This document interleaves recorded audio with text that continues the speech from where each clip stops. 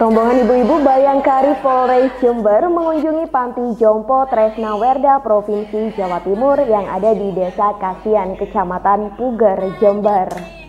Ibu-ibu Bayangkari ini bertatap muka dan berdialog langsung bersama penghuni Panti Jompo yang mayoritas dari mereka rata-rata berusia 70 tahun.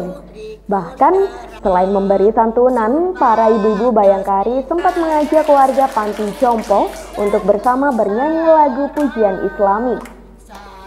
Cut Laura Kusworo, selaku Ketua Bayangkari Polres Jember, amat terharu saat melihat langsung kondisi Panti Jompo Tresna Werda yang dihuni sekitar 140 orang lansia Salah satunya Ibu Rokayah yang dikabarkan nenek pemakan rumput asal Kecamatan Bangsal Sari Jember.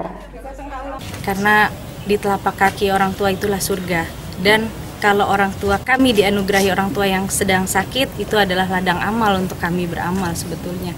Jadi jangan sampai kita melupakan orang tua yang sudah membesarkan kita karena tanpa orang tua kita bukan apa-apa. Alhamdulillah dari pengurus cabang Bayangkari Jember, juga dari Ketua Ranting secabang Jember, kami semua ingin mendapatkan pahala di bulan suci, di bulan baik ini. Kami berhasil mengumpulkan TV dan kipas angin juga berupa beberapa santunan. Dari Pugar, Bambang Sugiarto Jember 1 TV melaporkan.